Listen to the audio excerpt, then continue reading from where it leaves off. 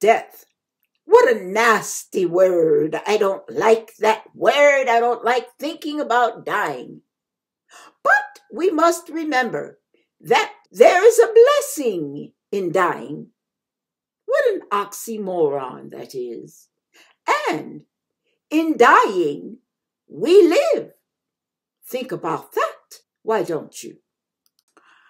This is Pat with Pat's Two Cents. We are God's Church of Love online since nine, since 2018. Six years already. Wow, time flies. Okay, you know, a lot of times, a, a lot of us hate that word death. We hate to think of dying. We hate to think of what it takes to let go of everything that means everything to us as we go through the dying process. So I'm going to share a few things with you because in dying we live. Let's go to First John chapter 2. All right. First John chapter 2 and I'm starting at verse 13. No, I'm starting at verse 15. Love not the world, neither the things that are in the world. If any man love the world, the love of the Father is not in him. For all that is in the world, the lust of the flesh, and the lust of the eyes, and the pride of life, is not of the Father, but is of the world. And the world passes away, and the lust thereof, but he that doeth the will of God abideth forever. All right, here's a little warning. Little children, it is the last time. And as ye have heard, the Antichrist shall come. Even now are there many Antichrists, whereby we know that it is the last time or the end times, the last days. What God is trying to show us is there's a dying process. And what came to my mind when I this whole thought came to me was what I read when my husband was dying. Hospice, if you go on Google and you Google hospice, it is a perfect allegory for how we are to let go of the world. When you read what a person, the stages of death, what a person goes through when they are getting ready to cross over. And aren't we getting ready to cross over? Think about that. Aren't we getting ready to cross over every day of our lives? So when you think about that, I'm going to share some of the details I read when my husband was dying here at the house. His last 33 days. And I prepared myself so I would know what to, what not to do, what was dangerous, what was safe, you know, what was best for him, the whole nine yards. One of the things they say is when a person is letting go of this world, getting ready to cross over, after a while, they're going to need a lot of silence or very soft, serene music. Why? Because the regular noises of this world can jar them, can make crossing over a very difficult task.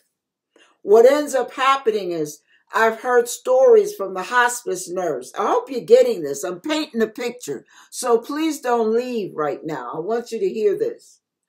What the hospice nurse told me when Milton was sleeping was there are times when she went to some homes and the person is laying there trying to cross over. And the kids are ripping and running and running in and out of their house and in and out of their room. And the, the family is all there trying to be a source of comfort but they're really a source of agony because they don't understand that they're creating a very chaotic atmosphere for this person who really needs to have a very peaceful, harmonious atmosphere. You got fights breaking off here and arguments over there and people standing over the patient's bed, arguing back and forth and blaming each other for stuff. And this person has to deal with all that while they're trying to let go. What I read was you make sure the music is quiet. there comes a point where they don't want to have the television on. They don't want to hear the chatter. They don't want to hear the normal noises. They don't want the news. They don't want the blah, blah, blah, blah that comes on in the movies. They don't want any of it. They want peace. So then the next thing is if they are in the Lord, hopefully you are, you also want peaceful music that's uplifting, not a bunch of cussing and and blasting and blaspheming and heifers over here and holes over there and bees over there and what you gonna do with them and all that. No, they need peace and quiet. So the music should be very peaceful, very worship oriented, very, very uh, serene, angelic almost. Then they get to the point where they, I remember Milton got to the point he didn't even want the music. He wanted quietness. And he would call me over and we'd hold and we'd hug. But you know, there came a point where he didn't even want to be touched. He really needed to be left alone. Wasn't anything personal. That's part of the stages. He was letting go of me as well. You understand that? Two days later, he was he he had slipped into a coma and he was gone. So the bottom line is he he went very peacefully, very peacefully, because the atmosphere was conducive for him to do so. This is the problem with us. Okay, now that I've dealt with that, this is the problem with us. We call ourselves living for Christ and dying to the world. We're dying to ourselves. Um, no, let me see how good. Oh, yeah, the song. Goodbye, world. I stay no longer with you. Goodbye, pleasures of sin. I stay no longer with you. I made up my mind to go God's way the rest of my life. Well, yeah, you think you made up your mind that everything is God from now on. Everything, worship music, Christian TV, everything is is is uh, God's way. But in the middle of the night, you're watching movies you shouldn't watch. Some of you are watching porn you shouldn't watch. Some of you are on the on Facebook 24 7. You can't live your life answering and, and messaging on Facebook. You're caught up in, in, uh, in gossip about this uh, celebrity and that celebrity. You're on the, on YouTube lambasting your fellow brothers and sisters who may have stepped sideways and got lost in the shuffle. And they're, instead of you praying, Instead of you asking for prayer, you're up there gossiping and backbiting. In the name of the Lord. And you think you're dying to yourself. You think you're dying to the world. Well, tain't necessarily so, baby. You, there is no way. Now, some of you have an issue with peace. You're not going to get peace when you're hanging around argumentative people, when you allow them to stay in your life. you're not going to enter into God's rest when you're steadily at odds with this one, at odds with that one. You won't ask forgiveness. You won't give forgiveness. You won't show mercy. You won't show compassion. Cause in your book, baby cakes, they don't deserve it. How dare they think I'm going to do something for them? But your Lord and Savior, air quote, says, do good to your enemies. Mm, huh? Yeah, you forgot that part. Or maybe you didn't get that memo. Mm-hmm. He also says to be kind to those who despitefully use you. Ooh, wait, wait, back, back that track up. I, I know Jesus didn't say that. Oh, yes, he did. Oh, yeah. In essence, that's what he says. Mm-hmm. Because in doing good to your enemy, It's like pouring hot coals of fire on their head. That's what the Bible says. I, I read it with my own two eyes. Oh, yes, it did. So you think you're dying to the world. You really think that. But the conversations you're having are so worldly and you don't even realize it. That's why it's difficult for you to cross over on the other side. And I'm not talking about dying physically. I'm talking about crossing over from the ways of the world to God's ways. It's difficult. It's a struggle. Why is it a struggle? Because when the Bible says, love not the world, neither the things that are in the world, you still love the world. You won't admit it, but yeah, yeah, you still love the world. At night, you might go out with some of your girlfriends when your church members or your work, you, you know, your co-workers don't know it, but you're out there at some club watching men strip, or some of you men are going to the strip joint or to the X-rated movies in the middle of the night, spending your, your hard-earned money that's meant for your family to enjoy and benefit from. And you're up there working your body parts while they're grunting and, and acting on the screen.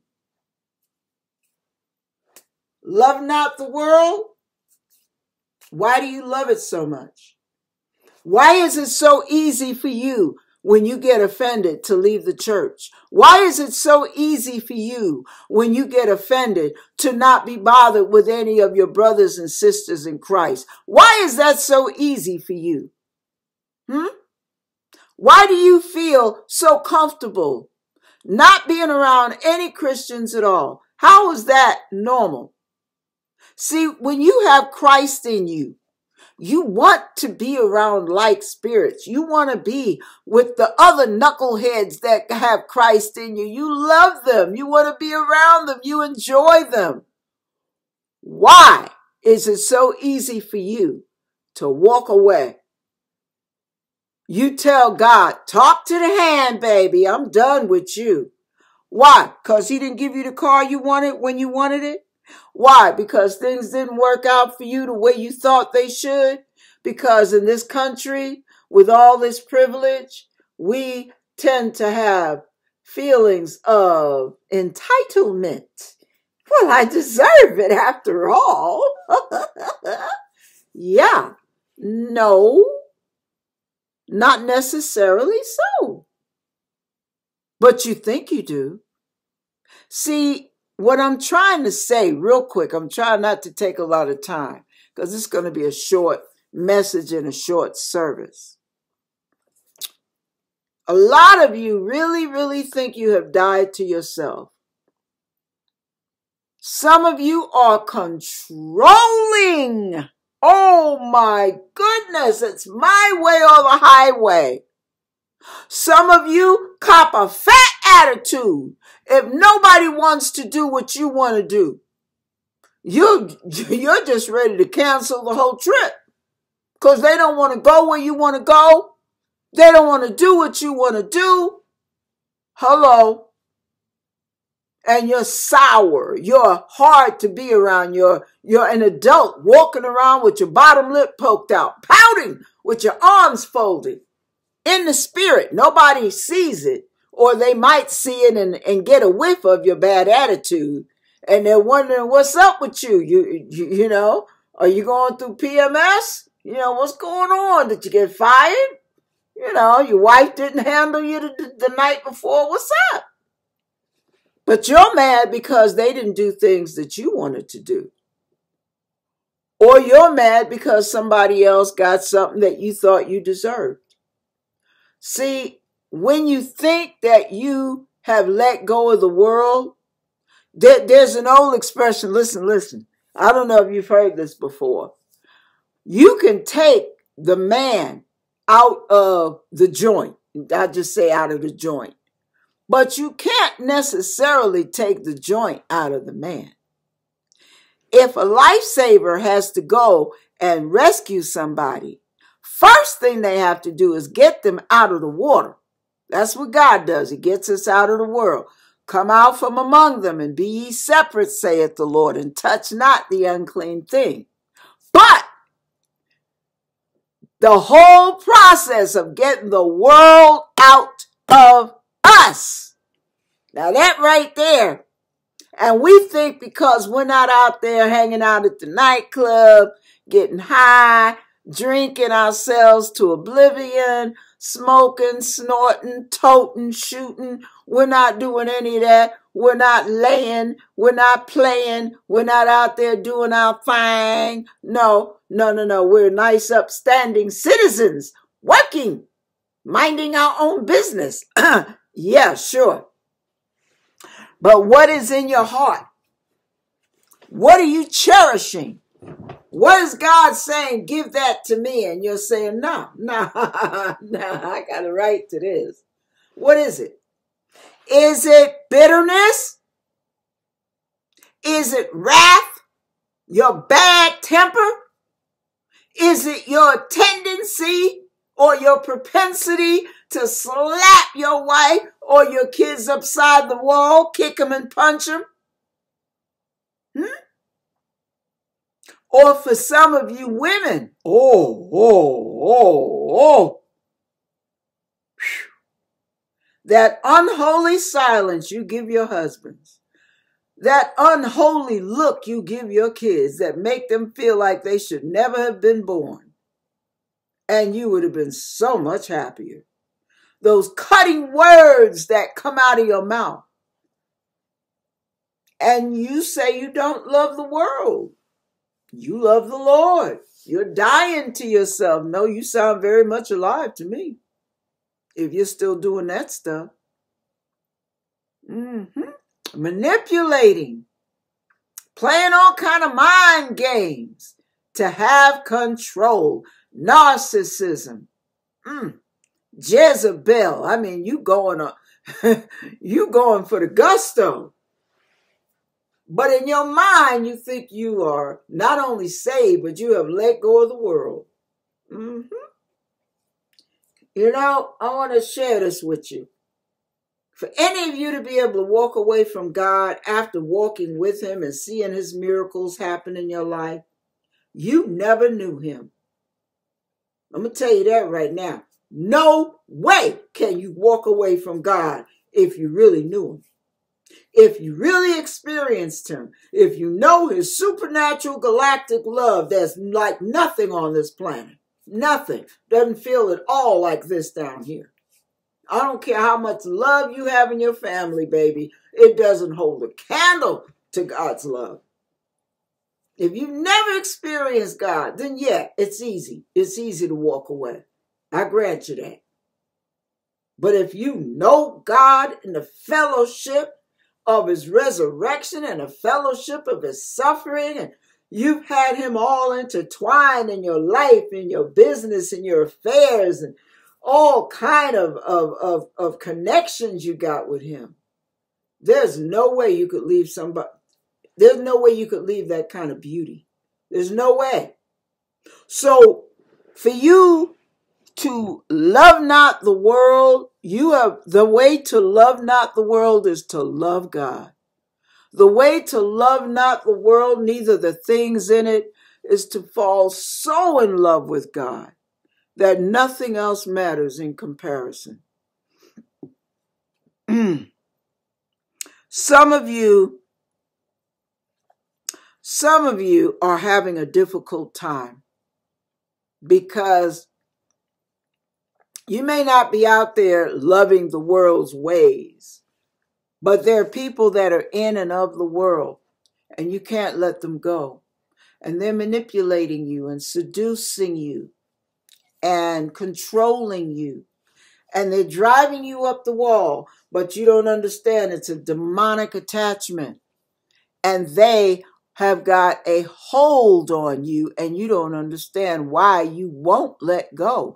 Knowing they're toxic, knowing they're volatile, knowing they're bad news, knowing they're using you and spending every dime you get in your pocket. But you won't let them go. Why? Don't put that Christian spin on it. Well, I'm here to minister to them. No, no, no, don't even try it, baby. No. Jesus himself said, Don't cast your pearls before swine. Jesus himself said, Don't give that which is holy unto the dogs. When you give and give and give and put out and put out and put out, and this person, it's never enough. There, there's always something that more they need. There's always more you need to do. There's there's this somewhere you're always falling short. How come you can't? Why? Why? Why? And you're steadily trying to prove what a good Christian, you better walk away. You better leave that alone. Because what you're doing is you're playing footsies with the world. That person ain't of God. Sorry, baby cakes. But Jesus said, You know them by the fruit they bear. That ain't God's fruit. It ain't. All right. So, getting back to dying to self. One of the ways you die to yourself is you stop leaning to your own understanding. But in all your ways, you begin to acknowledge Him so He can direct your path, Him meaning God. Okay. You commit your life to Jesus Christ. Ask Him to be your Lord and Savior, not just your Savior. You don't just need forgiveness, baby. You need somebody to hold your hand to get you through this muck and mire down here. And you need to be filled with His Holy Spirit. You should ask daily for a fresh and filling. Because just like a car, gas runs out, baby. And that car not going to run without gasoline in it. You cannot walk for the Lord without the Holy Spirit in you. So you have to ask on a daily basis for God to fill you with the Holy Spirit. also, must get into his word. His word is alive. God's word. That, that's why the Bible calls Jesus the Word. In the beginning was the Word, and the Word was with God, and the Word was God. Uh huh. So that shows you right there. They're talking about Jesus when it goes further down. He dwelt among us, He became flesh. Uh huh. All of that. That shows you who that is. It's self explanatory. John chapter 1, if you got any doubts, read it. Now, I don't do this often, but I, so I hope you don't get offended. But a lot of you are blessed by the different channels that some of us do here on YouTube. And we might be some little small time ministry, just trying to do our part. And some of you will go out of your way to bless these big ministries that have thousands of people or hundreds of people giving to them.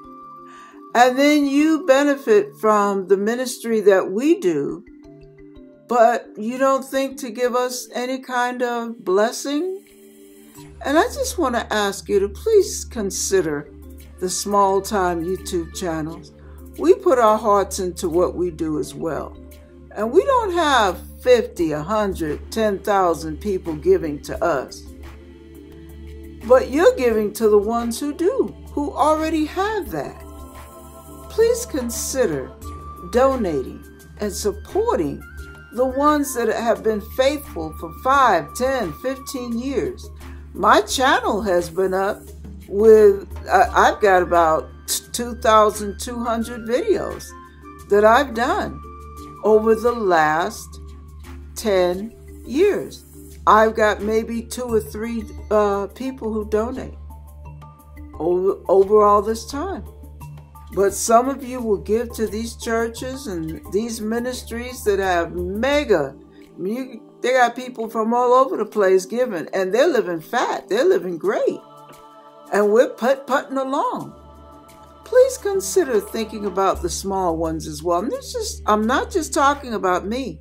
There are other people that do even more than I do in outreach. This is your little uh, station break. Please consider the small ministries while you're so busy giving to the big ones. Now, so you have to read the word, you have to pray, You don't only run your mouth, blah, blah, blah, blah, blah, blah, blah, blah, blah, and I want this, and I want that, and I want that, and I want that. No, you also must ask God questions. Questions like this Lord, why do I do that? Would you show me? Would you deliver me from that? Lord, why does that kind of stuff upset me so much? Would you show me? Would you cleanse me from all unrighteousness? Would you purify my spirit? See, you have to constantly ask God to bathe you. And then you must take the initiative and bathe your spirit in the Word of God. And I'm going to stop there because we're trying to end early. But I want to share with you just make sure that you not only die to yourself, but you learn to live for Christ. You can't do that flying solo. Learn what it means to let go of the world. Learn what it means. The Bible says in Romans chapter 12, and that's your closing scripture, and I'll be done. Romans 12, verse 1 and 2. I beseech you, therefore, brethren, by the mercies of God, that you present your bodies a living sacrifice. So, holiness is not always going to be comfortable, y'all. Let me tell you, sometimes you obey to the point of tears. I don't want to do it like that, Lord. Why? Why? But you do it anyway. Mm-hmm. I beseech you, therefore, brethren, by the mercies of God, to present your bodies a living sacrifice, holy and acceptable unto God, which is your reasonable service.